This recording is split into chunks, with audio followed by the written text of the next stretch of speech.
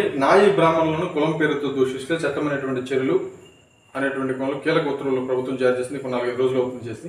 అంటే చాలా రోజులు అవుతున్నా కూడా బయటకు వచ్చింది అప్పుడు మరి దానికి సంబంధించి చూస్తే నాయి బ్రాహ్మణులను కించుకొచ్చేటువంటి విధంగా మాట్లాడేటువంటి పదాలపై ఏపీ ప్రభుత్వం నిషేధం విధించింది. ఇకపై మంగళి మంగళోడ బొచ్చుగొరిగేవాడ మంగళిది కొండ మంగళి అనేటువంటి పదాలను ఉపయోగిస్తే నాయి బ్రాహ్మణులను అవమానపరిచినట్లుగా వారి మనోభావాలను దెబ్బతీసినట్లుగా భావిస్తారు.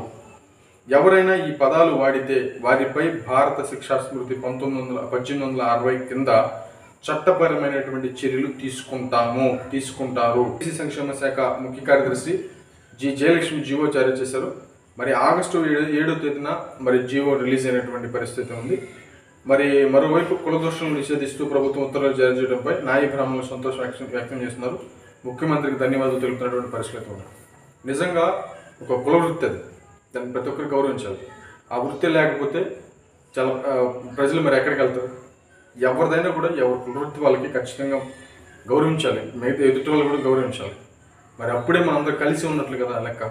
మరి కించ భావాలతోటి కించ పదాలతోటి ఎలా ఎలా పిలుస్తారు? ఎలా అవమానిస్తారు? మరి ఈ ఈ సీఎం జగన్మోహన్ రెడ్డి గారు తీసుకున్నటువంటి ఈ నిర్ణయం మాత్రం నిజంగా చాలా చాలా చాలా మంచి విషయం.